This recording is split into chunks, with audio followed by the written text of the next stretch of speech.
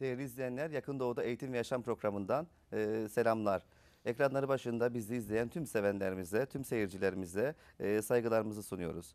Bugün Yakın Doğu Üniversitesi'nde e, sosyal yaşamı, kampüs yaşamını daha derinlikli konuşmak üzere iki konuğumuz var stüdyomuzda.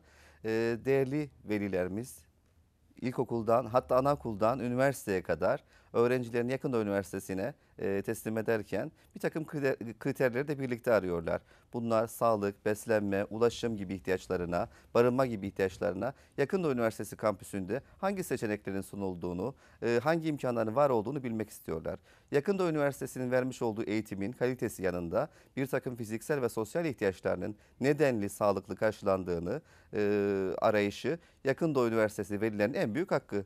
Biz de Yakın Doğu Üniversitesi'nde bu ihtiyaçlarına güvenlik, ulaşım, beslenme, barınma gibi birçok ihtiyaçlarına en nitelikli, en kaliteli hizmeti vermek amacıyla değişik birimlerde değişik hizmetler sunuluyor.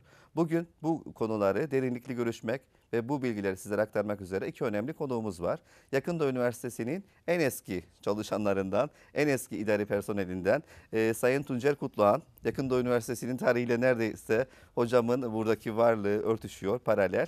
Ve bir diğer konuğum Yakında Üniversitesi'nin e, kantin kafeteryalar ve satın alma müdürü genç arkadaşlarımızdan, ekibin genç neferlerinden biri e, Enver Algun. Hoş geldiniz. Hocam az önce söyledim. Ee, Yakında Üniversitesi 1988 eğitimde üniversite olarak 25. yılımız ee, ve eğitimde ise 35. yılımız kutlanıyor bulunduğumuz yıl içerisinde. Siz de ee, birkaç yıl sonra yani 88'den 91 yılında. 3 yıl sonra Yakında Üniversitesi'nin bu büyük aileye dahil oldunuz. Bu o günden bugüne de yanlış e, bilmiyorsam beni düzeltebilirseniz aynı görevi üstleniyorsunuz.